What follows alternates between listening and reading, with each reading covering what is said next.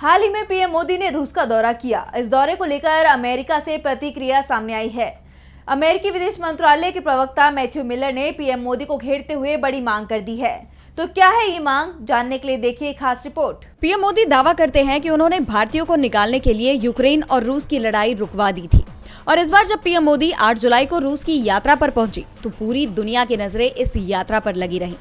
खास तौर पर अमेरिका की, जो नहीं चाहता था कि दुनिया का कोई भी देश रूस से किसी भी तरह का रिश्ता रखे। लेकिन भारत और रूस के संबंध बेहद पुराने हैं, इसलिए भारत अभी तक अमेरिका के दबाव में नहीं आया है।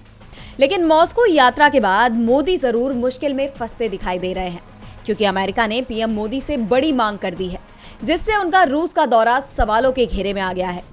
अमेरिकी विदेश मंत्रालय के प्रवक्ता मैथ्यू मिलर ने कहा कि रूस के राष्ट्रपति पुतिन, नरेंद्र मोदी के पुराने और अच्छे दोस्त हैं। तो मोदी उनसे कहकर यूक्रेन के खिलाफ युद्ध रोकने में दुनिया की मदद करे। पुतिन से कहा जाए कि वो यूएन चार्टर का सम्मान करे।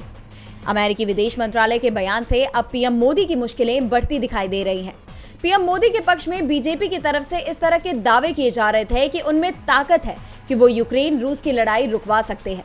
लेकिन अब अमेरिका ने ही मोदी से मांग कर दी है, जिससे पीएम मोदी बैकफुट पर दिखाई दे रहे हैं। अमेरिका की मांग का कोई भी जवाब नहीं दे रहा है।